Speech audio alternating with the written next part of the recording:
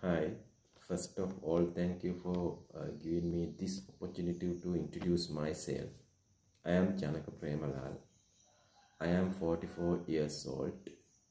I am from uh, Chilaw, Sri Lanka. Uh, I am uh, sales manager. Uh, I have been working at the cooperative association uh, for eight years. I have two sons. Uh, they are schooling.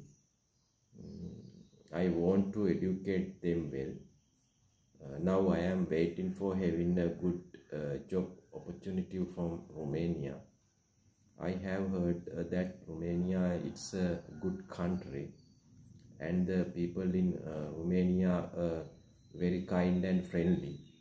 They treat, uh, they works well uh, so I would like to be uh, employed in Romania as soon as uh, possible.